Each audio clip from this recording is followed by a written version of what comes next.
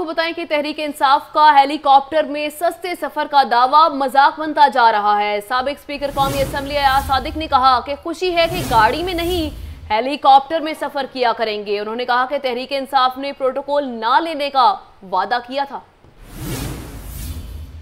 بات کو مجھے خوشی ہوئی اس حکومت کی کہ اب آپ لوگوں کو ٹیکسی میں سفر کرنے کی ضرورت نہیں ہے۔ اگر آپ کو پچاس اور پچپن روپے کلومیٹر میں ہیلی کاپٹر مل جائے گا، تو پھر تو یہ میں درخواست کروں گا پی ٹی آئی کے دوستوں سے کہ یہ ریگولر سروس چلا دیں۔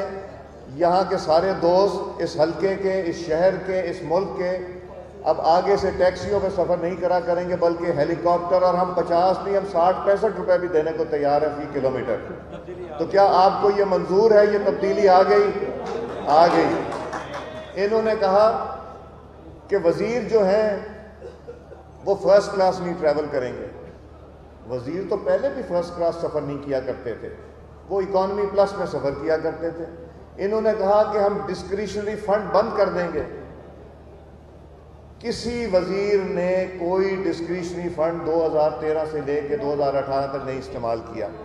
میرے پاس بھی تھا ڈسکریشنری فنڈ میں نے پہلے سال ہی آ کے دو ہزار تیرہ میں یہ کہا کہ ایک پیسہ بھی یہ ہم نہیں خرچ کریں گے۔